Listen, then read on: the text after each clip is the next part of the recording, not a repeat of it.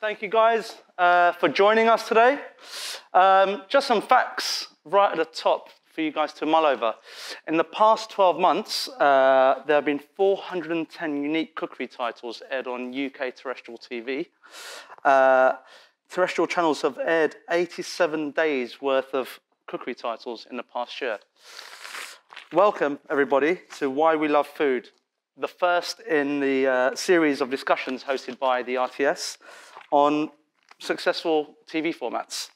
Um, we want to discuss today what makes uh, food shows, TV formats so successful, and where they might be heading in the age of Netflix, social media, and other sort of media channels. Uh, my name is Pritesh Mody. I run a company called World of Zing. Um, basically, I have a cocktail lab, which is pretty cool. But um, uh, I also regularly host the food and drinks section on Sunday brunch. So, Hungover TV. Um, uh, well, I've got a really cool panel here today. Um, all kinds of backgrounds, um, and I will let you guys introduce yourself first. So, starting off with Tanya. Hello, um, so I'm Tanya Shaw. I'm managing director of Shine Television, and we make MasterChef. Um, and before that, I was a commissioning editor at the BBC, um, where I worked with lots of uh, amazing chefs like uh, Rick Stein, Raymond Blanc, Mary Berry, and before that, I was a commissioning editor at Channel 4 uh, and commissioned um, some food programs there as well, uh, like the Food Hospital, so sort of a variety of different food stuff. I won't say anything else about myself, just, just the food stuff, I think that's what you're interested in. Next up, Melissa. Uh, hi everyone, I'm Melissa Hemsley and I started my food career about uh, 10 years, almost 10 years ago. I started private chefing for for bands and actors, um, anyone that wanted really delicious food and they wanted to feel energized and feel really good but didn't want to go on a diet. Um, and I had a TV show with my sister about three years ago. Um, and we have a cafe at Selfridges. I was just explaining it's he hadn't been, so it was, I was saying it's by the lingerie department, if anyone's headed up that way, um, and sportswear departments. Um, and I've written um, three cookery books, and I'm about to hand in, hopefully after Bank Holiday weekend, my next one, which is all about um, leftovers and uh, not throwing away food, which is exciting. Cool. Nisha? Hi, I'm Nisha Katona, and um, I had a bit of a strange journey into food. I was a barrister, child protection for 20 years, um, but all the while obsessed with food. And while I was doing that, I wrote cook, my first cookery book, and I started, with the indignity, a YouTube channel um, to show people how to cook Indian food with a, a very simple formula. Um, I then, four years ago, four and a half years ago, started my first restaurant um, mortgaging my house to the hilt to do so. Um, and I'm now on restaurant number, building my 12th restaurant, which is a miracle, really. Wow. Um, I'm just done a bit of filming, so I've just done recipes that made me. I've done Top of the Shop for the BBC. I do Sunday brunch, sometimes with you. You. Um, and I've just done something with Fred, um, filming in, in um, Santiago de Compostela. And an MBE. There is that as well. that I think was a pity I wanted vote. to make sure she said that. I don't mind, yeah. And Sarah. Hi, I'm Sarah Lazenby. I'm head of features and formats at Channel 4. Um, we commission, I look after the Bake Off franchise, so the Great British Bake Off, Bake Off, the Professionals, Extra Slice, the forthcoming Junior Bake Off. We also have Sunday Brunch under us, um, Food Unwrapped, uh, all of Jamie's programmes, um, so Jamie's Quick and Easy, um, and Friday Night Feast, and uh, before that, I was I series produced lots of things like Jamie's Foul Dinners and Gordon Ramsay's F Word and Gordon's Cook Along Live. So a lot of food. Awesome. So to kick things off, um, I'm going to ask each of you, uh, what would you consider the most influential cookery format and why?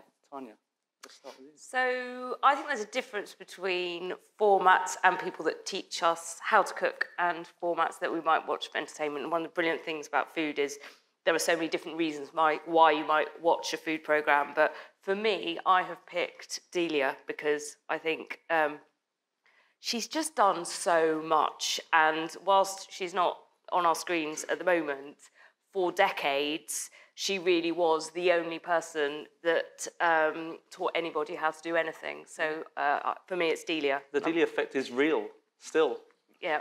right? Did Um, you say at the moment? Because you know something. No, no, no, no, no, no, no, no, no. I'm not a commissioning editor anymore. I don't know anything. Um, no, I just think, but you know, for decades, she Yeah. really, she just really influenced, you know, my generation, my parents' generation. She's the queen. And we've still got, you know, and I think she's going to influence the kind of the next generation as well because her books are just kind of classics. Absolutely. I think we've got a clip. Hello, hello again, and welcome to this week's programme. Over four decades, Delia Smith has single handedly changed the way we shop, cook, and eat. Brilliant. Um, next up, Melissa.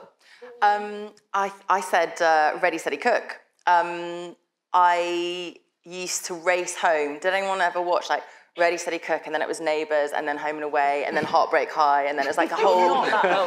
You're not old enough for that. no, yeah, that was like my whole um, night planned out, um, kicking off with Ready, Steady, Cook, and 4.30. yeah, 4.30, just ready, had all my snacks lined up.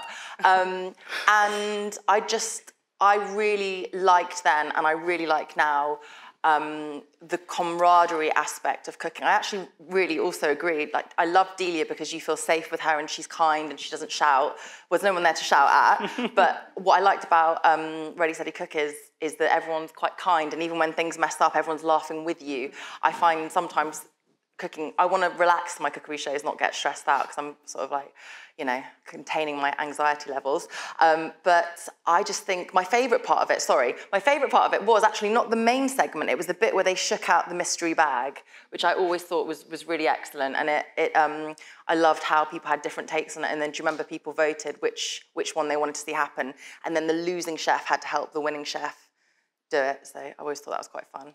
Brilliant. Well, let's, let's grab a, a clip of that, please. We've got some lovely uh, white chocolate there, guys, high in cocoa solids, along with blueberries. 90% of these are actually produced in the United States of America. I love that show. Um, next up, Nisha, you've got one of my favourites, I believe. I have the, the, the, the one of the shows I love the most is is Floyd doing anything, but it's the for, it's the format of chop and chat, you know, and it's almost uh, something that people don't really talk about in the commissioning rooms. It's kind people are kind of overlooking it, I think, at the moment, chop and chat. But for me, it's the most ancient, time-tested way that you learn to cook. And I suppose it's as you say, Tanya, you come to TV with different expectations and different itches that need scratching. And the ultimate warm bath for me is that didactic, somebody with gnarled hands, someone like my dad who's pissed teaching you how to cook a lamb curry, you know, bottle of Johnny Walker later, um, which is the Keith Floyd. Uh, you know, but, but all of that, that really avuncular, warm intimacy that you get from a chop and chat is, I think, for many of the people I know, once you've done a day's work, that's how you zone out and that's how you actually learn a little bit. And when you combine a bit of travel into that, it's just the perfect, perfect uh, end for an evening, I think. Yeah, wicked. Um, I, I fully agree with that as well. I, I think, especially with the alcoholic element of it, the ability that something could go wrong or there's going to be a faux pas And made. that talking to camera as well, because it draws you in. It's just so, Oh, it's so nimble, isn't it? Absolutely. Um, we've got a clip of Keith doing what he does. This is the Floyd programme, and we always cook in lemonade, as you know. One of the most essential things is going to be a bottle of good, strong red wine, because you'll probably need half a bottle to go into the uh, into the dish itself, and you're going to need half a bottle to go into yourself to make things really cheerful. Superb. Um, and finally, Sarah, given your, you know, your track record record of some incredible TV programs, what's been most Yeah, I feel I feel a bit like it's a shameless plug now, and I don't mean to be uh, for it to be that, but, but I felt like we are. You know, I think I agree with all these guys. You know, Delia is the dawn of things. Ready Steady Cook is one of the original formats of food, and and Floyd is that sort of charismatic person that you host. But you've all sort of touched on that sort of atmosphere thing, and I feel like um, I'm going to talk about Bake Off because there's a reason I think it has gone on so long. There's a reason why it came to Channel Four post BBC, and that is it's a it's a format that really works. But more than that, it's an atmosphere. Like I think it's sort of no secret. I don't think it was commissioned immediately by the BBC. And if you actually think about it, it seems a bit a bit a bit weird that you're going to cook in a tent, but it's sort of evocative of every celebration that you've ever had. And those bakers are. It's sort of a reality show without reality show. In a, you know, it's quiet drama. It's a look here. It's a look there half those people are surgeons by day, but not just come and they just they're an incredible baker because that's what they do to relax. That's their sort of float zone to calm down. So, um, and I think you know it's it's amazing that it is it, it's come over to us successfully, and people still tune in. It's still a appointment to view, and for that, I feel like because it's presenting an atmosphere and people are coming to it, I feel like that's why it's quite influential. So this is a clip of uh, Vegan Week from last year, which some people liked, some people didn't. But I think um, we've got an ability to reflect what's going on in, in the world. But there's a loveliness about the way the bakers bond and come together and, and the drama that cake making can create. Brilliant. B, can you help me put yeah, this yeah, on? Yeah. I'm scared. You've got dowels in there, haven't you? Yeah. Yeah, then it'll be fine. I don't think that's gonna. Uh oh. Cake stand is Del Boy's suitcase. Brilliant. Who, who, would have thought there could have been so much tension and drama from a, from a cake? Which I guess uh, leads me on to my next question. You know, in this day of digital, uh, you know, social media, YouTube, watching, scrolling, Facebooking, why are we so obsessed with cookery shows when we're cooking less than ever? Um, I'll give that one to Sarah and Tanya. I think um, I think because it's it, it, brings people together, right? It, it's collaborative, it's creative, it brings cultures together. But I think it's again, I think it comes back to that. It's like people like watching food as a mood, and I think it is escapism in, in a world where you're allowed permission to indulge. It, it's it, it, looks delicious. You, so it just it's a safe and like all of the examples, they're all quite warm and positive things, aren't they? And I think they're just quite an easy thing to escape into, um, uh, you know, and indulge, right? Yeah, I think that's right. And I think that, you know, actually, I mean, it might sound like an obvious point, but we all have to eat all the time. So, in a way, whatever the fashion is, for whether it's chop and cook or sped up little videos on social media or, um, you know, whatever it is, we always have a need to eat and therefore we'll always have an enjoyment, I think, of watching food programs. And if you look at MasterChef, which we make, you know, we make three different series every year. Um, and unlike almost every other format on terrestrial television, it's actually doing better uh, year on year and growing, which is sort of extraordinary when you look generally at kind of the what you know what audiences are doing.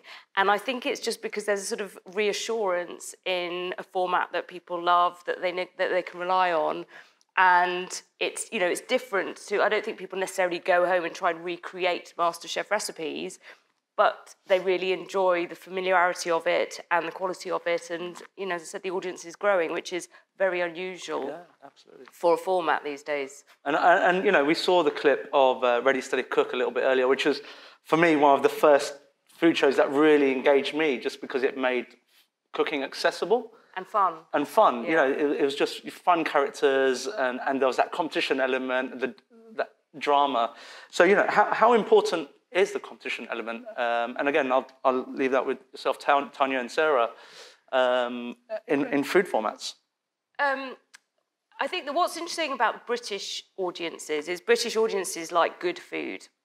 So whatever the format that most programs that work involve good food. Whilst actually, if you look at other countries, like I mean, MasterChef now plays in 32 countries, and it was really interesting looking at what works in each country. You see that, for example, in Italy, their most successful new challenge last year was when they had to uh, design and create some dog food, and then oh. had a load of dogs come into the audience, uh, into the studio wow. to judge the quality of the dog food. Oh, wow and they just loved it. Now we could never do that. In, it would not go down well with the British audience who love it.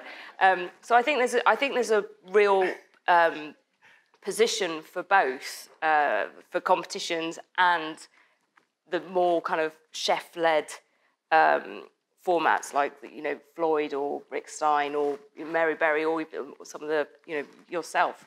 Um, but I think also you, Sarah was saying about Bake Off it keeps coming back. And again, I'm not going to just talk about MasterChef tonight, but we do have a little clip which I just think is interesting in seeing how if you would evolve a format in the right way, it can move with the audience. Yeah, um, so I know I grew up watching Lloyd Grossman uh, with MasterChef, and that show was a very, very different one to the show that it is now. But unfortunately, it wasn't me, but a very good, clever team of people managed to kind of you know, modernise it and bring it up to date, and which is again one of the reasons it goes from strength to strength. Indeed, and I mean, Sarah, do you have anything to to add to yeah, any, any further insight? I think I agree with all of that. I think it's um, I think characters are are quite key, whether they are presenting characters or whether they are, I mean, the bakers are the star of, of, of that. And when you invest in them and you look at the sort of vignettes you get in things like street food on Netflix, that's you're buying into somebody who utterly lives, breathes, and you know believes in this kind of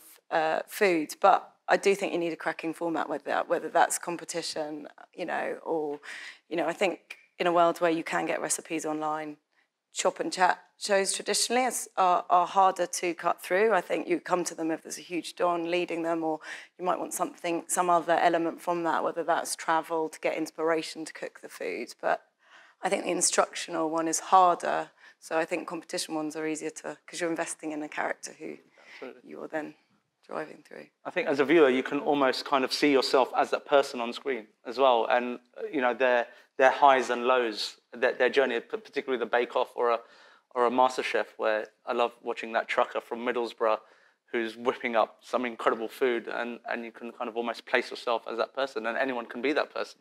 Yeah, and I think also even the best chefs can have a disaster yes. in the kitchen. Absolutely. So the kind of drama around cooking is actually you know, it's sort of tenser than any other yeah, sort of talent yeah, yeah, show because actually a good singer, yeah, they might get sore throat on the day, but a good singer is probably always going to be good, but an amazing chef can just kind of completely mess and it up on the, the day. pressure of those competitions, which is great because exactly they can destroy the greatest baker or, or chef um, by doing that. You know, How important can... is that disaster element to you guys? No, no, no. It's like you don't. You, Formula One, you, don't, you, you, you cast for the best you cast for the best, right? But it's but it's it's it's interesting that you know a level of experience and maturity sometimes gets people further because they're used to the pressure of the you know it's the pressure of the kitchen, right? It's the heat is heat is on in the kitchen, and that has been a perennial basis for lots of the creations of lots of sort of food formats. I think.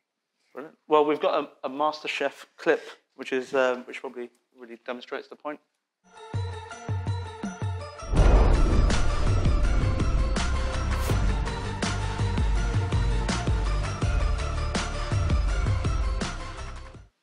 Fantastic. So, you know, I think uh, that showed really well how one TV format has moved along the ages. And similarly, I think I'm going to fire this over to you, Melissa. Um, over the years, we've had, we've seen the transition from really factual 1950s cookery programs to the 80s, where you've got international culture, your Floyds, your Madhur Jaffreys, uh, and now we're more socially conscious. Um, so we've got a lot more sort of, I guess, vegetarian food and environmentally friendly and all this kind of stuff. Um, does food pro programming set the agenda or reflect it? Would you say? Oh God, Tough big, big question. Big question. have I got this one? um, I think it is. I think it's a little bit of both. Um, I always enjoy TV where I'm learning something new, and um, I love, you know, Jimmy and Jamie's for that. I really enjoy TV where I can see, where I can learn something about, I don't know, a, you know, looking at, for example, Lloyd, what he was doing just then, you know, he's using a, an unpopular cut of meat um, and he's, he, it looks a little bit bizarre because we're not used to seeing it. But I, I like anything where, where it's not just absolutely um, unctuous, as he says, and like completely delicious and all that food porn element, but you're really understanding why you should cook that dish over a million others. Um, environmentally friendly wise, I think uh, I'm, I'm really, you know, I was, um, when Jazz and I did our TV show, I wish if we had done it again or if we had had, you know, any say at all, it being our first TV show, didn't really have any say. But um, the bits that I most enjoyed filming were, um, I think we filmed the whole thing in, it was 10 episodes in 10 days. I mean, we had no idea what we were doing. And it was actually uh, commissioned by an Australian TV show, so uh, channel. So actually, when we first got the email, we thought we were going to Sydney to film it. and in the end, it, it was not Sydney. Um, but the bits that I most enjoyed, we did five days with um, a father and son, uh, quinoa farmers in Essex, uh, a biodynamic uh, apple and chicken uh, um, farm in Kent. And unfortunately, those bits got really cut down, but they were the most interesting stories that were being told. Um, and I think maybe, you know, now I think we might have had a better chance of those stories being shown. It's the people behind it, the connection that they have. Um, I also love any Hugh Fearnley Whittingstall show. Anything that is actually showing me something that I'm not going to see in a supermarket. Um, the whole wonky veg, ugly veg, you know, what can I do with peelings?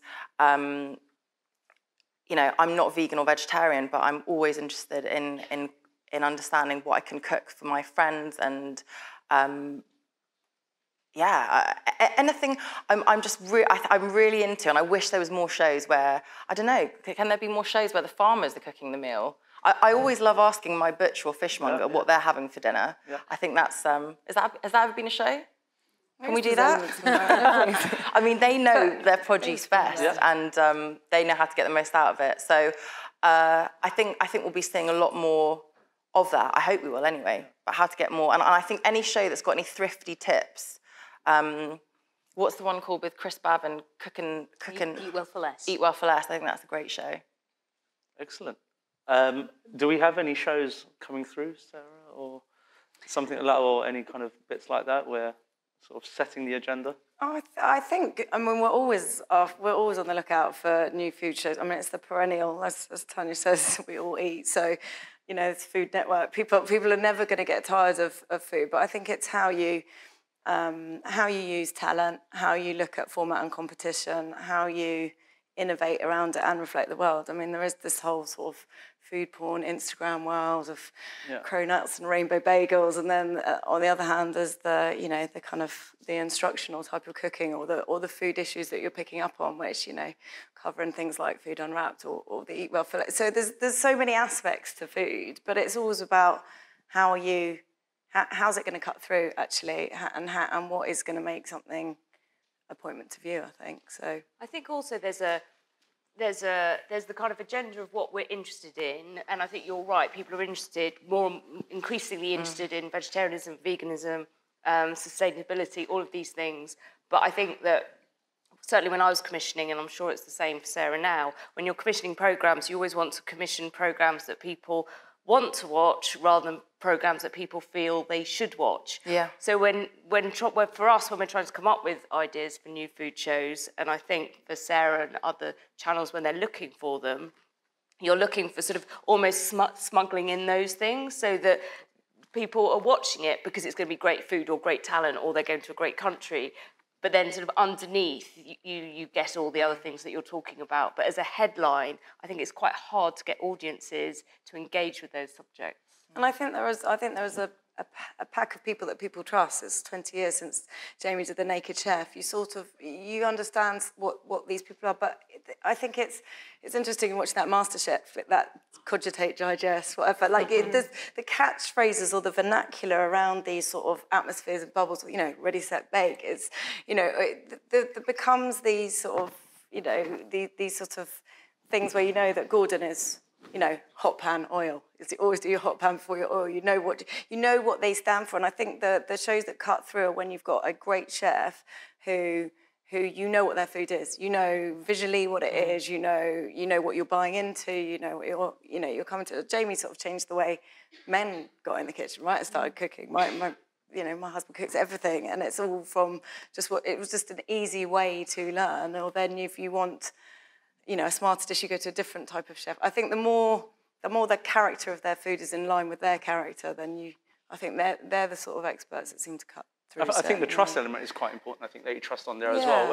Uh, you know, someone like Jamie, where people of my generation, I grew up with Jamie, and and I still trust him. And when I watch Jimmy's Friday night show, whatever, and he slips in those little sustainable stories and really cool stories of little farmers, I kind of I believe in it because I grew up with him. Um, uh, you know, doing things like that. Um, so yeah, I think that that, that trust element is is is huge. Um, and even Bake Off, where we saw Vegan Week, again, it's, it's you know people now trust the format, enjoy the format, and you've kind of slipped in this.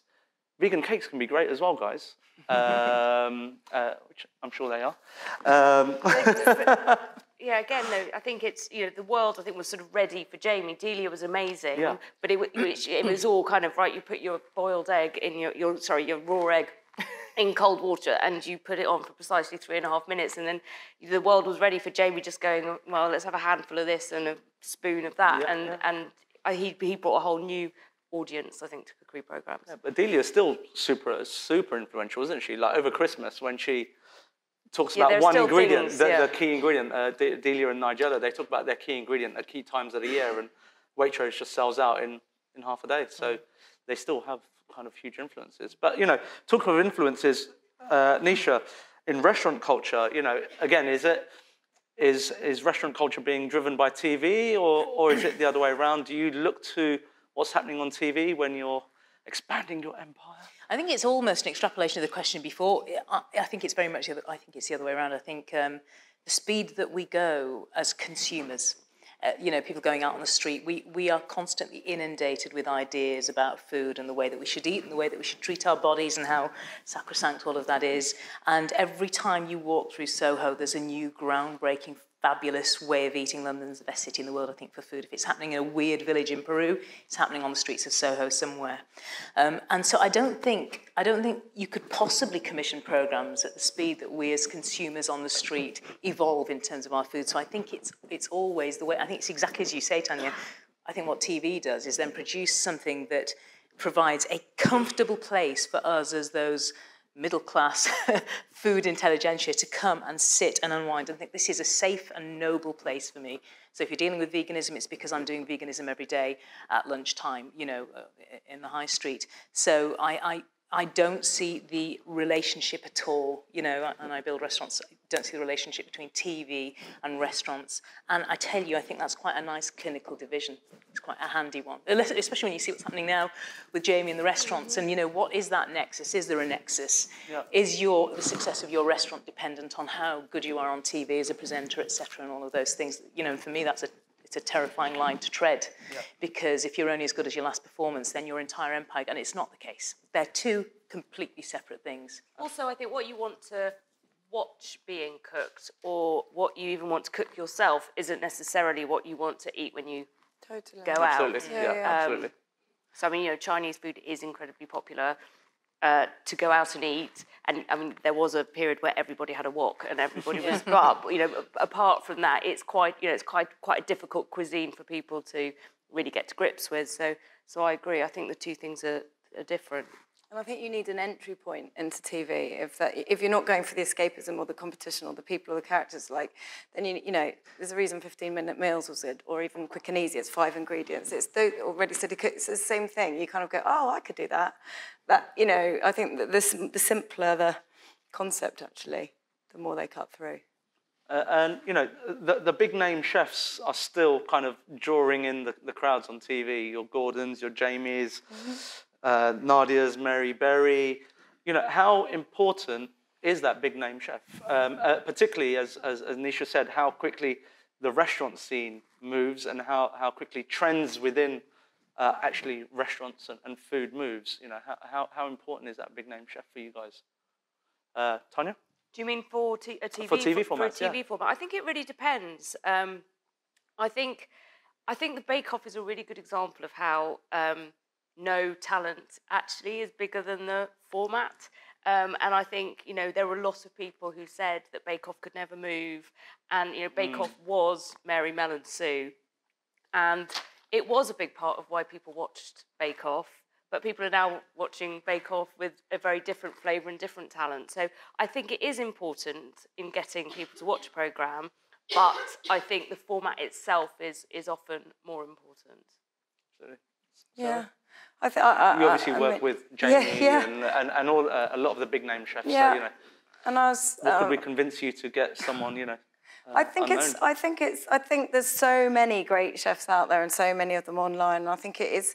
It is hard to cut through in a quite crowded landscape. And uh, uh, I think, uh, you know, as an individual, like I'm saying, in an individual chop and chat, because people want more because they can go and find that online. They don't want to come. So they need a reason to be coming to TV that that needs to be possibly a bit bigger than that. But it, it comes back to your point about trust, right? So, and, and you know, when we, we got the Bake Off and it was like, oh my goodness, who do you replace Mary with? And, you know, actually that was an easier thing than the hosts because it's about experience and, you know, you can't argue with 50 years of experience from Prue and, and you just, you just can't. Like, you, you, it's incomparable really with other people. And then, you know, and the respect they have for, for each other. So I think it is, it is, it is about that trust and, and I still, I, I also think it's about that. It's a tone. It's what can I identify with? Do who is this? What are they making? What am I buying into? So Interesting. Um, you know, talking of new talent, you know, we look at social media and uh, the speed at which social media channels are growing, uh, say from YouTube to Facebook, food channels, recipes. People are sharing, people are growing audiences. Um, what can television learn from social media um, that you know uh, to, to keep television current? Um, probably one for Nisha and, and Melissa, who have grown your audiences and kind of developed your your followings through social media. For me, I think they are, again, I think they're so different. It's a really profound question because you think social media is this great, you know, marching panacea and it make it, it, and it has all the answers and it is such a different thing. So i do all my social media all the restaurant social media and it is fascinating. So what and i monitor the reaction to every single one of my food posts and, and and see what resonates and what doesn't. And what they want is they want something that's still and glistening and oozing and come hither hmm. and achievable. And so it's not so much the microherving stacked you know they want something that's familiar and familial almost. So those are the things that get the biggest hits, and that's where you get the conversation saying, "Can we go to this restaurant and get this immediately?" All of that kind of thing. Nothing compares to TV. Nothing. I, I think nothing compares to TV. That live interaction, be it in the format that you're talking about, the competition format. I think that's an interesting point. Though I think the competition format, you go with a different mind. I watch Bake Off and I watch MasterChef because I'm watching the, the arcs of the people. I want to immerse myself in them and see how they develop. But the hardcore food thing, I would go, my, my, I would go to the Chop and Chats. You know, I was watching the Hairy Bikers before I came out to this this evening, you know, to see how you make a baguette or whatever. Um, and, and nothing compares to that. So if you do a bunny chow on Sunday brunch, you know, a six-minute segment, I will sell out for the next six weeks, six weeks of bunny chow. So there is, they are so disparate, you know. You think, I think somebody was talking about Joe Suggs being one of those few, you know, bloggers that actually makes it onto TV and, and, and not massively successfully either. You know, they're, they, they they tap into two very different parts of the brain and different kinds of people, I think. Yeah, it's one of the few areas I think where they really complement one, one another rather than take away from one, one another. And like I know that, you know, I go, I get a lot of recipes online but it doesn't stop me buying the books and it doesn't stop me watching the television programs because there's so much pleasure from just having a cookery book or from watching the program. Um, and I watch a lot of those. I love those sort of sped up. Um, tasty, tasty things yeah. you know, that, you, that are constantly on my sort of various social media yeah. feeds, yeah. and I love them. But it, but it doesn't. It's in addition to my love of watching programs and buying the books. It's, it's very much lifestyle, isn't it? It is, know? but it's yeah. interesting because book sales are at the highest. There is yes, no abating, absolutely. no abating book sales. Yeah. So you realise that that again is something that is not influenced at all by people. Still want to go to that that, that ancient way of doing things, which is almost like an ap- apothecary. You know, this alchemy of turning a page and you see a picture of something and you cook it. There is something ancient about the way that we want to learn to cook, and that comes from books and it comes from intimacy. But you're right, it's the aesthetics, right? Yeah. So so you know, online or in a book or in there. I mean, if you've ever seen a cut of a show, which I have, no names mentioned, where they've not done that macro pass, where they've not done the sumptuous, gorgeous mm-hmm. with the beautiful lenses that really make you salivate. It's terrible. It doesn't translate, and mm-hmm. you don't. You don't. It doesn't make you. It doesn't feel delicious, so you don't want to watch it. Um, it's true, actually. I, I. It's interesting you say that because actually, I know uh, you know, making cookery programs is actually a real specialty, and good cookery programs look very easy to make. And I've come across a lot of people recently who aren't used to making food programs, who have sort of gone, oh, you know, how hard can it be? And then sort of got to their edit and gone, oh, we sort of forgot to we forgot to film the food. They sort of forget that the food is the kind of hero of the show. And actually, a good cookery program looks easy, but it you know, there's a lot of thought that goes into mm. how to how to create something that people want to watch. And then you look at the schedule of a recording day of any food program; those, those that takes up a huge chunk of time if it's going to resonate. It I was going to say as well. I just um, it's just taking me all back now to when we were filming it. I remember, uh, you know, just having to be very quiet for a while, well, a long while, so that you know the cameras, the sound could pick up the sizzling, and because I think actually when there's two of you, you think it makes it easier, but actually it's harder because you. I remember one recipe. Uh, it was slow cooked chicken curry. So the chicken just went in the slow cooker. and the director who did Nigel Slater's and like Nigella's was like, "Where's the drama?" And like, what's she, she was like, "Well, wait, don't put it all in because I need to think about how I'm going to make this all exciting." And we're like, "Well, that's kind of our recipe. It just goes in the slow cooker." And they was like, "So they're like, so there's nothing that's going to sizzle. No, there's nothing that's going to get like all nice and golden. No, it's just going to look quite ugly in the slow cooker, but it's going to taste amazing." And I remember, yeah, stopping for for the sizzles, the the, the all the senses and when I think about when I'm on my phone, you know, say you're, say you're waiting for the overground and you're thinking about what to have for dinner, yeah, that might really inspire you, whatever just flashed up. But actually, when you're at home and consuming, sort of in your own life, because I guess like nine to five or eight to six is your working day, when you're actually having you time, you've got a glass of wine in hand or a, um, a mug of tea, or you've got your dinner in your hand, you're on the sofa. I don't want to be on my phone. I don't want to be scrolling. I don't want little one minute things. I actually want to be enveloped in something and I want all the sounds and um, I don't have surround sound. I don't know why I did that, but I want the sound and I, I and I want to feel like I'm smelling it all. So I think that is yeah, yeah. super important. A dub of a, a, food show is absolutely key. A really good dub of a lemon squeeze through to a yeah. sizzle through to it's yeah. it's really important. That cheese, that parmesan cheese. Totally. totally. Um, you know, and so we're looking for, if you're looking for new talent, uh, still staying in this kind of social media realm, you know, uh, how, how closely do you look at social media channels and, and uh, how do they get your attention and do they even want to be on TV, actually? Have you come across, you know, situations where you've approached someone and they said, actually, we're, we're all right, we're, we're, we're building our own channel over here and, and we're fine, thank you. Um, Tanya and, and Sarah. I, think, I, yeah, I mean, I think I probably get a email a day about people going, oh, have you, here's a new bit of talent, here's, and, and it's, it's, and before I did this job, that, that department, department is always inundated with people who are doing, you know, coming up with different ways of doing food.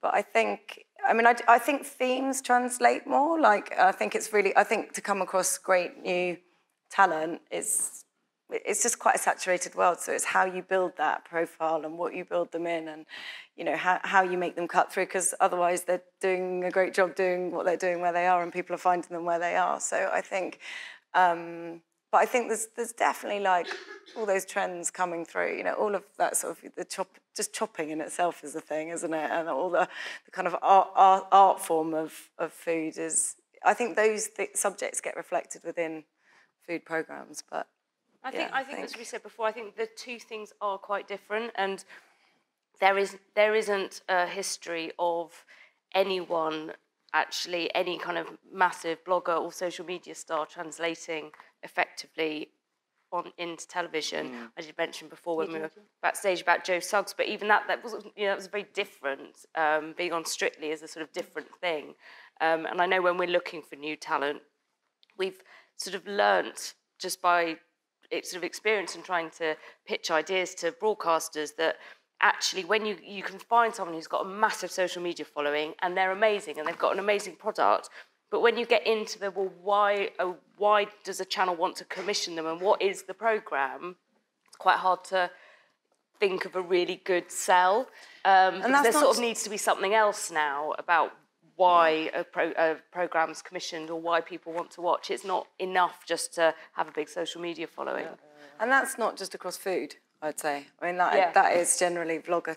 Like it's, it's a, you know, you get, it's, it's the last few years, I think Joe is quite a rare, rare case of, of you know, on, a, on a huge show on Saturday night. So I think that's, yeah. like you say, the worlds can coexist and we cross-pollination sometimes, but...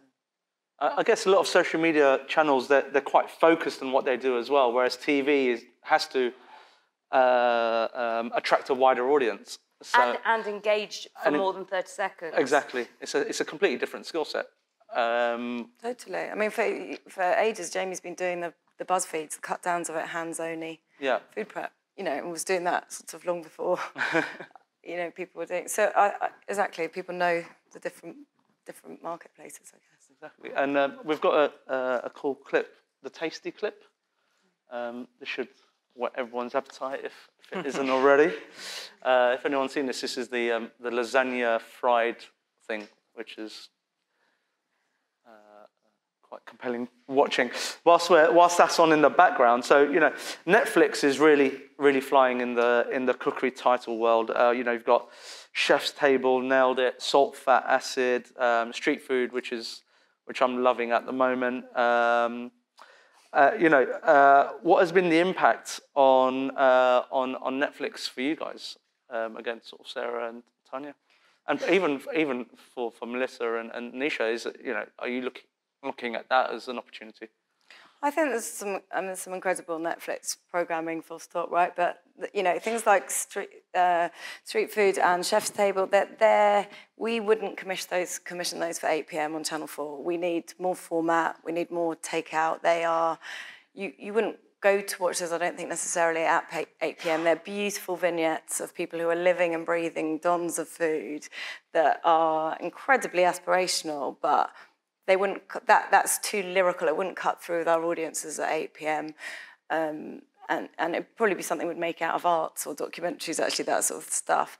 But something like Nailed It, absolutely. It's got a great format. It's got it's got the triumphs and the lows. It's you know an entertaining take on sort of features TV. And I think yeah, I think that's moved the dial on in, in a good way. Things like programs like that, you know, and your eight year olds are finding it or you know, or, or your grown ups. And I think that when you can find formats that bring a wide audience, I think that's pretty key.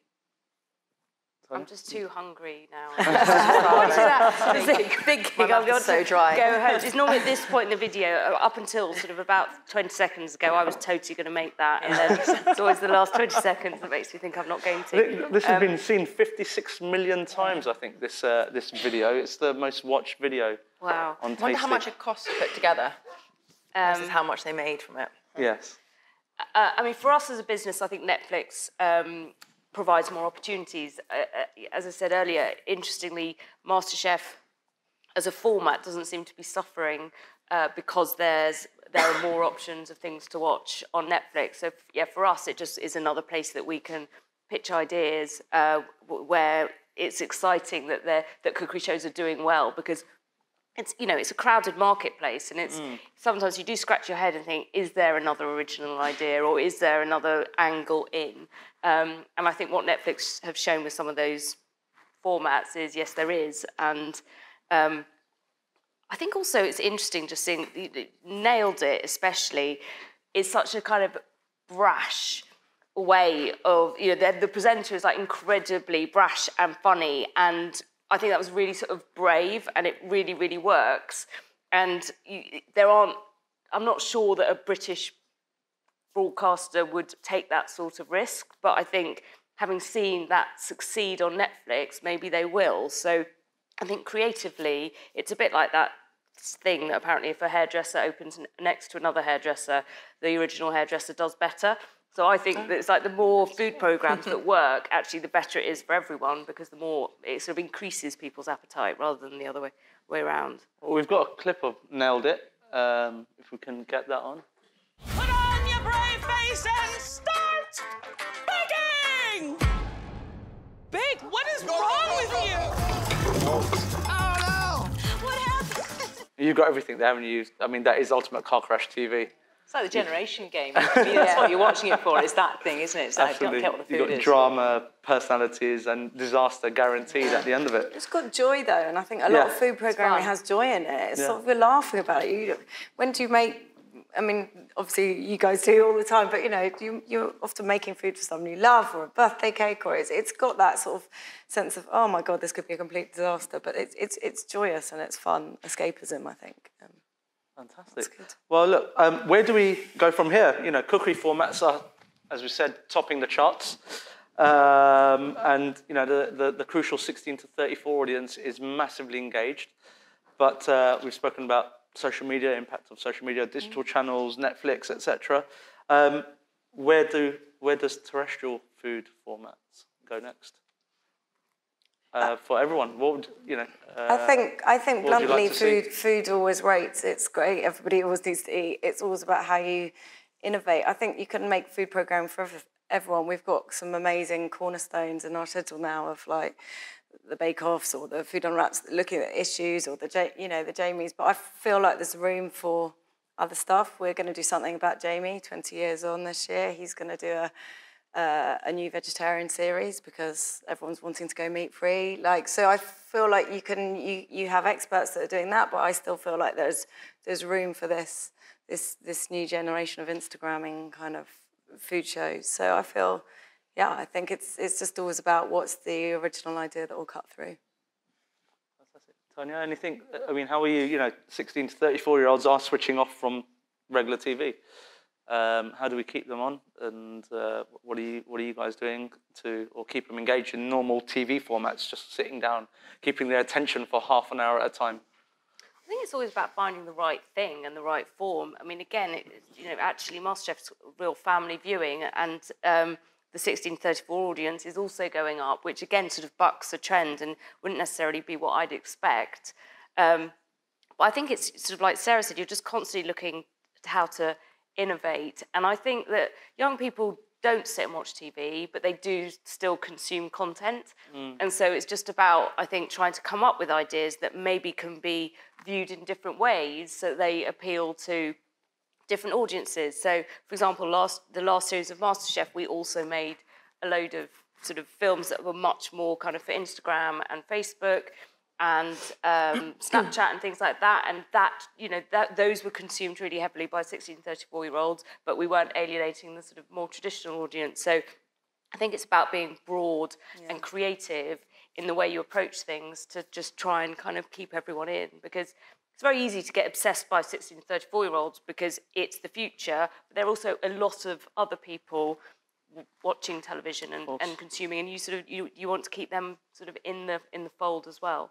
So, so when you're um, when you're kind of looking at new formats, new shows, when you sit down, you have your your big meeting. Does part of it say what does our digital strategy look like for the show? Yeah, Like, is- absolutely. You know, Absolutely. uh, and what what kind of things are you looking for from? Well, I think what's interesting is the question for us is always what is the digital strategy and what are you trying to achieve from that digital strategy? Because it's quite hard, I'm not saying it doesn't happen, but it's quite hard to know if digital strategy drives viewers to a program, but it's incredibly important in terms of including the younger audience and brand awareness. And so it's sort of, there, there is a digital strategy. I think um, when we develop ideas. I think broadcasters are a little bit behind the curve um, in that generally, you know, certainly at the BBC, for example, you know, the TV people commission TV. And then there isn't really kind of any budget for a digital strategy. So sometimes these things fall between two stools. But I think going forwards, and if we're going to be clever about television and making sure that we still keep serving a really broad audience, the, the two things have to be kind of connected. You, you've got to find the budget. If you appreciate the power of it, then the budget should be there because it kind of pays for itself. Absolutely. But again, it sort of comes down to what is what you're trying to achieve from that strategy. Um, and different audiences want different things from the from the content. Brilliant. Um, and anything you guys can share, Sarah? What's what's coming up? What have you got? Yeah, I exciting think I've coming up? spoken about those things that are coming. There was this. The, we have got lots of things in development, and you know, we're we're always interested in food format. So, I think you know, I think we've got some key things coming up. So, can't talk Fantastic. Yeah. Any any any insight? Any any sneak I'm peeks? trying to sell lots of food formats. lots of people. Um, no, I mean, I have to say, MasterChef keeps us quite busy. We also do um, things with Mary Berry, and we and we are starting to look at you know new talent and just how do you. We get very excited by new talent because also these things are cyclical, and so Sarah's absolutely right. And I think if the if you had a representative from the BBC here or Five or ITV, they would be saying the same thing. But then every so often, there is the next Jamie or there is the next person that does really capture the nation's imagination because they feel really passionately about a, an issue that is, you know, feels of the moment or just because they're really extraordinary in terms of their character. There's just something, so you never stop looking for that person. So I'm just going to carry on trying to find the next Jamie, and when I've done that, I'll retire. Um, brilliant. Um, I think that's that's it for from the panel. Um, questions? Um, lady at the front here. I think we've got a mic. Hi there, uh, my name is Victoria Fasai. I'm just final year student at Westminster studying television production, and I'm also a former contestant of last year's um, Family Cooking Showdown. Um, so I just wanted to ask. You were saying talking about social media and um, in the present day how it kind of coexists but do you reckon like you know like 10 20 years from now that it that social media could pose a threat to television um, in terms of like its success and how that's growing as well Sarah? Um, I- look, I think I think we are moving towards. Uh, I think your point about when you were in the BBC a while ago, like the digital, we're moving towards how do we create content. Uh, you know, I think people are quite agnostic at times. I think there are fewer appointment to view programs. People watch what they want when they want from on-demand services. We've got we've got the SVODs who are all coming through, and I think people find the content where they want to. And um, I, I mean, I, who knows what that's going to do? But I think we definitely need to be clever about the way we we commission digitally, and you know, and but but the broad appeal thing is really key. Like a great idea or a great piece of talent will always, you know, find viewers um, wherever that is being broadcast. I think. Uh, I mean, how do you guys ensure you've got really interesting people involved? You know, or or how much effort do you put into kind of the contestant component and and the Well, it's personality? huge, right? You've got to find the greatest amateur bakers, and you know, and the make more sure it's on they telly, make the more TV. people want it. Yeah, absolutely. Well, but I- actually, I mean- it's, no, with baking, I think it's not for food programmers. It's absolutely who's the skill, and I think It's that's the just skill, the it's joy. They- different. it's different, and that was my point about reality. They're not they're not on telly because they want to be on telly. They're on telly because they love baking or cooking, and you know, and actually that's where you get the joy of someone like Rahul who. Just you know, probably would have never, for it. never, it wouldn't have applied for Love Island, would he? So. Yeah, absolutely. I mean, you, it's- you'll see you'll see people on MasterChef who would not be on any other TV show, Yeah. and they're there purely because they're amazing chefs or They're skill-based. amazing want to be chefs, and that's absolutely what we're looking for when we when we cast each series. Is it's the food it's food first always. Absolutely. There's a danger, isn't there, as a consumer, if you attach to somebody that's too much of a charisma in whatever episode three, and then they go, I'm not going to watch it again.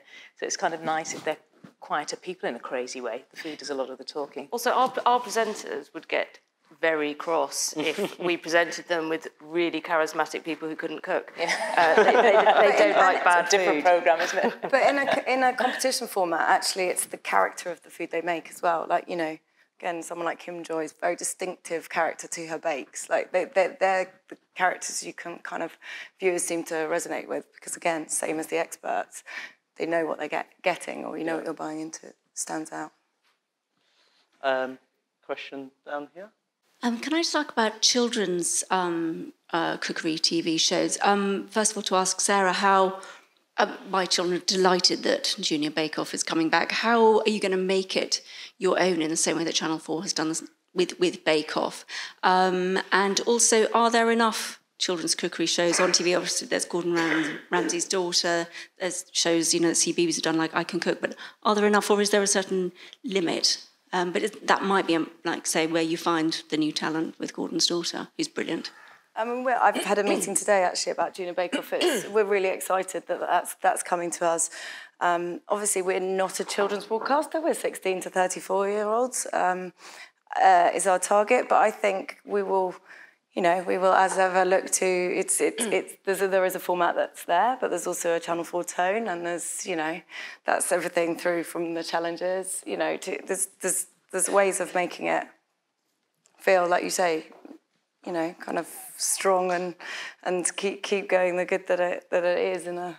I think it'd be brilliant to have more kids cookery um, shows. I've got four godchildren, and I'm about to start working with um, chefs in schools, where literally chefs go into schools and do cooking. And I've I've met a few people. Um, there's one guy who uh, um, he's a school teacher, and he helped build vertical. What am I trying to say? Sorry, vertical. What am I trying to say? Veg garden, vertical veg gardens in his school playground. Sorry, and um, and I love and, and one of my favourite things when my god kids come to stay. You know, we make brunch together while their parents have a lie-in, and they absolutely love it. And they go to school and. Um, some of them have got really great options at school, and some of them go, that don't have great op- options go into their schools and ask their teachers if they can have more vegetables. Um, so I think it's brilliant. And I, and I, and I think that um, there is so much that kids could be doing in the kitchen. It doesn't have to be the scary, hairy, uh, dangerous jobs. There's so much they can do. And just growing, you know, I learned how to grow cress and boil an egg. That was my whole childhood of cooking because my mum spoilt me. Um, but but actually, my mum my mum did that because by the time she got home from school and I got home from school, I always had to go to after school clubs and she picked me up. So it's a long story of my child, but you know, she just wanted to get the food on the table and quickly. Um, but if kids could be taught how to cook from a young age, it could be helping their parents out. Um, I think It's that brilliant. relationship, It it? is the relationship too, yeah. Yeah, I Yeah. teach my two-year-old. I show her a sheet and I go, "This is what you're eating now." Yeah. like, Yeah. Like we're having baba. Yeah, you should go to nursery. Like scares the hell out of the other kids. Honestly. Did you say we're having barber? Oh yeah, hundred percent. Yeah, yeah, yeah. um, look, that was great. Um, I think we're we're, we're, we're done. Um, hopefully, you, you guys learnt loads, uh, were inspired, and have got loads of ideas afterwards. Just to say, obviously, thank you to the panel uh, for your brilliant insight and your time. Um, thanks for thanks to the RTS uh, for the first of many, hopefully successful audiences like this. Um, and yes, thank you all for attending. Thank you. Thank you. Thank you.